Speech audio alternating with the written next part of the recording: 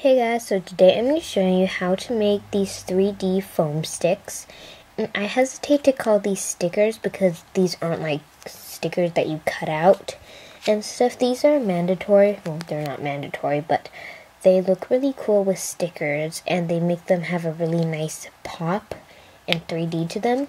And um, I have a tutorial coming up where um, I'll show you how to make a sticker that requires a lot of these.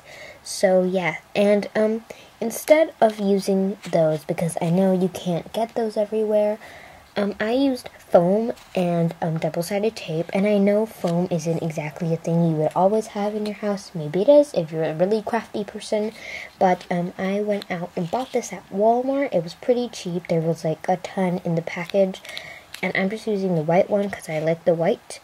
And um, so hopefully you can find those where you are.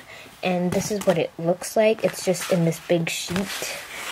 Um, so yeah, now let's get started. Okay, so the things you will need are some double-sided tape, some foam, and some scissors. So yeah, let's get started. Okay, so the first thing we're going to do is take our double-sided tape, and um, we're just going to take a strip of it and you can choose to do it this way or this way, but I'm just doing it this way.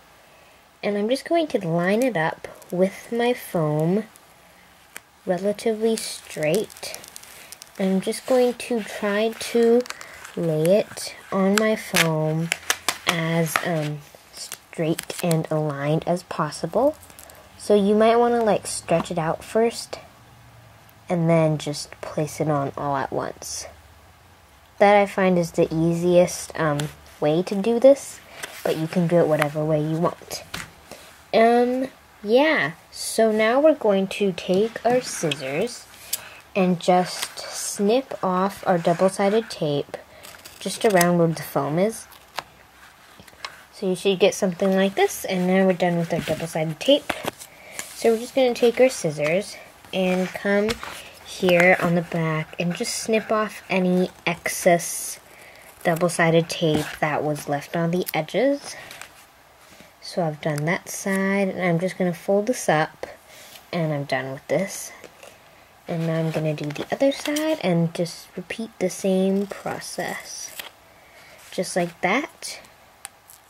And now you can choose to leave it just like this or you can cut this out I'm just going to leave it like this so I can keep using this piece of foam for other um, other foam sticks. And now we're going to flip to the other side and do the exact same thing. So we're just going to take our double-sided tape and just stretch it out and just lay it flat onto our foam. And again, snip it off. And now we're just going to, again, take our scissors and snip off any excess we have left.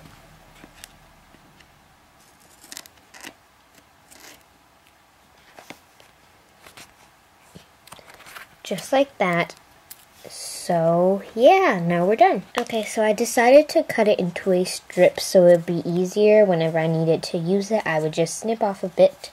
So yeah, there you have your finished foam stick, and I'm just going to um, teach you guys how to use this.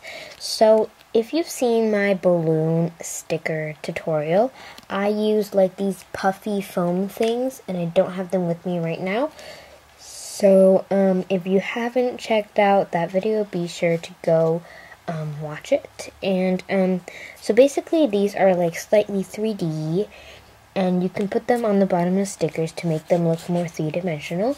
And I have a tutorial coming up, which I said in the beginning, where we will be using a ton of these. So I know those aren't available everywhere. So yeah, this is how to make your own. And basically, whenever you need to use it, you just take your scissors and snip off however much you however much you need. Um, so yeah, don't forget to like, comment, and subscribe, and I'll see you guys next time. Bye!